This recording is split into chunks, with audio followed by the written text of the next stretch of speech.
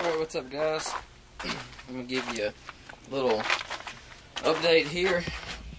Uh, got this side over here pretty much uh, braced up, minus a couple spots on the very end over there. Ran out of welding wire, tack up. But basically what I'm gonna do is, got this piece right here. Uh, it's bracing the outer wall. Uh, gonna take and uh, tack that all up. got a few uh, uh, lag screws holding that in. Uh, once I get it tacked up really well, I'm going to take, unscrew it, pull that whole piece out, and weld it all up outside the vehicle.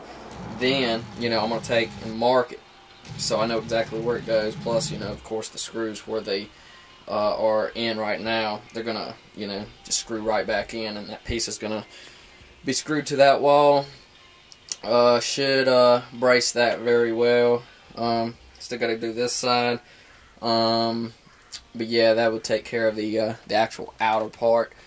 Uh, then it'd be on to uh, doing some baffles. Uh, gonna do some bracing on the back side of them also.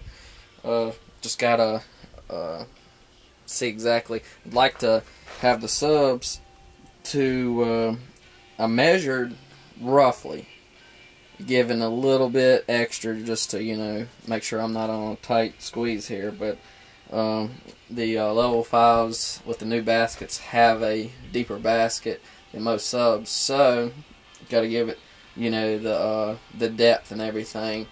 Um, but I would love to uh, extend these baffles out the mo uh, most I can to gain as much airspace but um, uh, I'm just inverting them all really don't.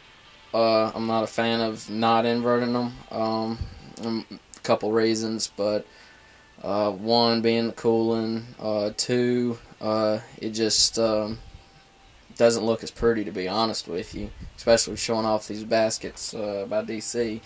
Um, but with that being said, I'm gonna uh, end it right there just because looks like there's gonna be a little storm coming, and thought I'd give you a little update. But other than that, I appreciate your time and uh, watching there, guys.